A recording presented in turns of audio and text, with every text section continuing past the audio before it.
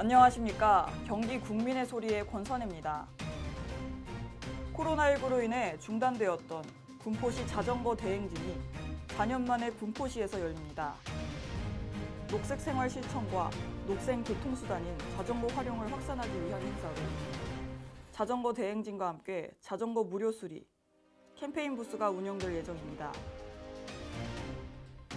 군포시 자전거 연합회와 군포 지속 가능 발전 협의회 그리고 군포시 새마을회가 주최 주관하는 이번 행사는 10월 14일 오전 9시 30분 군포시청 야외 공연장에서 열립니다.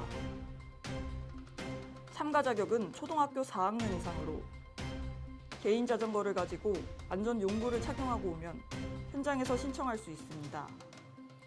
기념식, 대회 설명, 안전교육, 스트레칭을 하고 시청에서 출발해 한숲 사거리, 문화예술회관 사거리, 삼본시장 사거리를 거쳐 다시 시청으로 돌아오는 경로로 진행됩니다.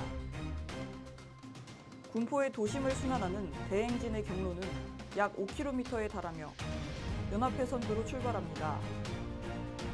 약 1시간이 소요될 것으로 예상되며 군포시 경찰서, 군포 모범 운전자회, 공무원 자원봉사단의 교통안전 통제에 따라 이동합니다. 정흥수 군포시 건설과장은 기후위기가 심한 요즘 자전거만큼 친환경적인 대중교통이 없다며 많은 사람들이 자전거를 이용하여 건강도 챙기고 지구를 살리는 일에 동참했으면 좋겠다고 말했습니다.